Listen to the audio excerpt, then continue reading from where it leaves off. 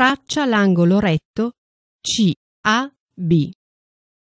Con apertura a piacere, punta il compasso nel vertice A e traccia un arco che taglia i lati dell'angolo in 1 e 2.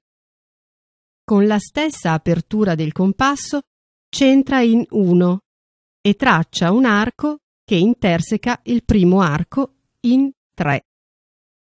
Con lo stesso raggio centra in 2 e trova il punto 4. Le semirette che passano per A e 3 e A e 4 dividono l'angolo CAB in tre parti uguali.